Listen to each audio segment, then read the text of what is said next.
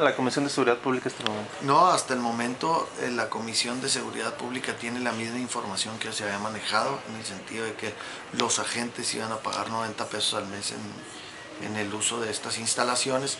Claro que si existe alguna propuesta por parte del municipio en la que el municipio absorba el costo de los agentes municipales, bueno, que se haga un análisis por parte de la Comisión de Gasto y Financiamiento en el sentido de que, de que se, llegue, eh, se pueda llegar a un acuerdo con, con nuestros propios agentes y si tenemos en la facultad, en la, en la situación para poder nosotros cubrir ello, bueno, qué bueno sería porque esta labor de los policías en los últimos años hemos buscado cómo dignificarla y hemos buscado que los agentes se sientan orgullosos de ser eh, este, agentes de, policía.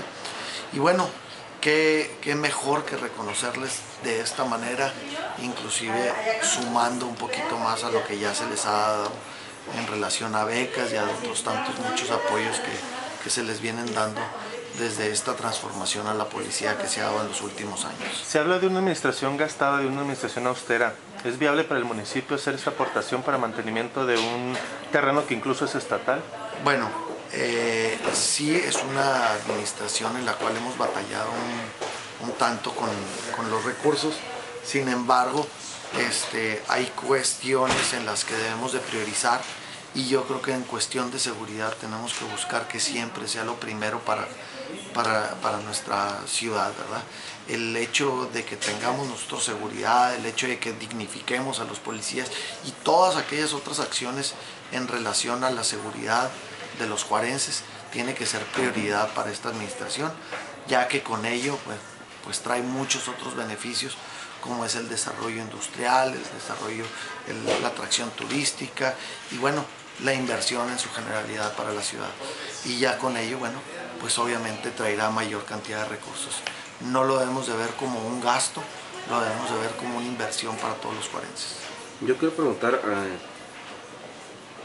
eh, tras el historial que tienen los agentes policíacos con atentados, inclusive asesinatos, no hay temor, van a estar resguardados, o todo el mundo está de acuerdo, sí, sí vamos a ir, no, no tenemos miedo, o cómo lo perciben ustedes. ¿A dónde? ¿Al parque? Sí, al parque, porque puede haber un atentado, no lo van a resguardar. ¿Se ha visto esa posibilidad? ¿No están fuera de esa...? Eh? No, yo, eh, obviamente debe ser un lugar seguro para todos ellos y sus familias, y de ello se deben de encargar las instituciones este, de nuestro gobierno, tanto municipales, estatales y federales, en darles y en proporcionarles seguridad a todos aquellos que acudan al, al parque.